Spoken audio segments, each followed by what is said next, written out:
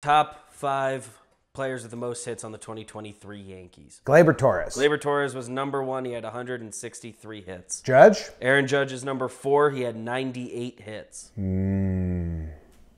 Those are crazy guesses, but they just played all year. Volpe. Anthony Volpe is number three. He had 113 hits. Rizzo. Anthony Rizzo is number five, 91 hits. Jeez.